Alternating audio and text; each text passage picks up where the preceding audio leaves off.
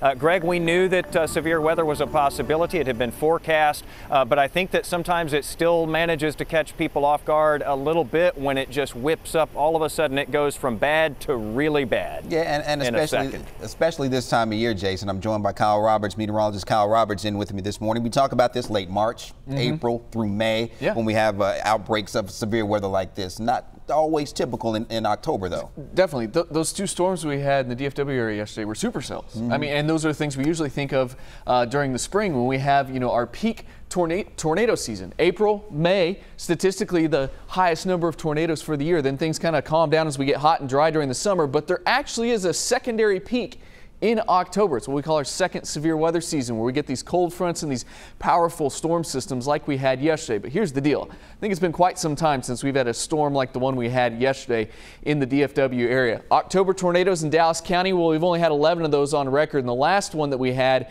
you have to go back to 1996, and that was back before the EF scale. We called that one an F1. But the last probably significant tornado that we had in Dallas County, We've got to go back 50 years, an F3 on October 12, 1969. So it's probably been a long time since we've seen a storm move through the Dallas area like we did it last night, at least during the October time frame.